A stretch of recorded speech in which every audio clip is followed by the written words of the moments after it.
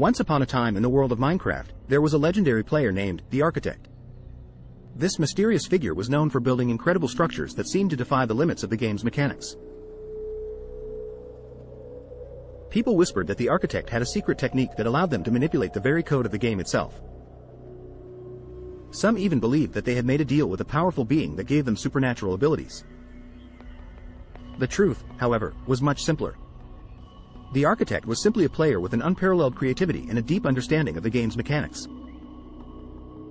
They spent hours upon hours experimenting with new building techniques and discovering ways to push the limits of what was possible. As their reputation grew, the Architect began to attract a following of other players who admired their work. Soon, a community formed around the Architect, with players sharing tips and techniques for building incredible structures.